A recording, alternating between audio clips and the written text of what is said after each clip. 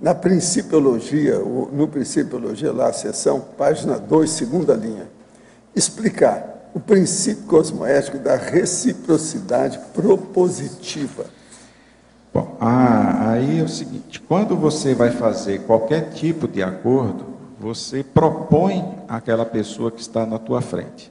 Para você saber se aquele acordo está dentro da cosmoética, você troca de posição. Então é como se a proposta fosse feita para você. Então, se você considerar que aquela proposta que você está recebendo, ela é honesta, ela é cosmoética, é, pelo menos ela tem algum grau é, de benefício das duas partes, então você está dentro desse princípio.